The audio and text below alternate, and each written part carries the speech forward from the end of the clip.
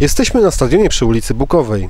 Wiele osób błędnie myśli, iż stadion GKS-u Katowice mieści się w Katowicach. Deptak, na którym się znajduje, to tak naprawdę granica pomiędzy dwoma miastami.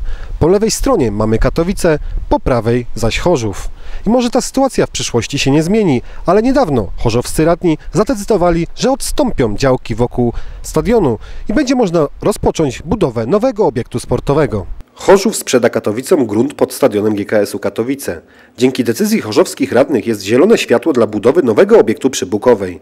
Zamiany działek i zmian granic jednak nie będzie. Stadion pozostanie na terytorium Chorzowa. Ostatnio radni Chorzowa postanowili udostępnić czy też odsprzedać wam grunty wokół stadionu GKS-u Katowice. Zapaliło się takie zielone światełko właśnie dla Katowic, że w końcu będzie można wybudować nowy stadion w tym miejscu.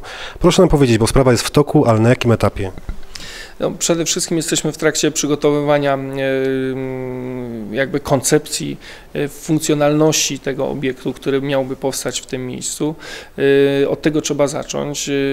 Toczyły się dyskusje, czy to ma być duży stadion, czy ma być małym stadionem, czy jakie funkcje ma dodatkowe spełniać, czy ma być tylko obiektem sportowym, piłkarskim, czy ma jeszcze posiadać inne funkcjonalności jako, jako obiekt budowlany. I to do, będzie dalej e, rozstrzygane. Ja nie ukrywam, że od wielu lat staramy się mm, e, w kwestii regulacji mm, terenów pod stadionem na Bukowej. To się udało w znacznej większości zrobić. Zostały te dwie działki. Bardzo się cieszę z decyzji radnych Rady Miasta Chorzowa, że no, postanowili wyrazić zgodę na sprzedaż tych działek.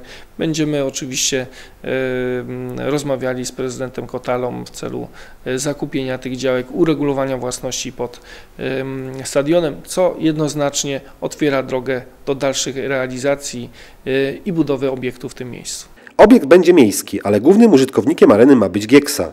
Do tej pory dwie działki, które należą do Chorzowa, były tylko dzierżawione przez Katowice. Teraz sprawą zajmie się Wydział Geodezji i Gospodarki Nieruchomościami. Po wycenie działek nastąpią negocjacje w sprawie ich sprzedaży Katowicom.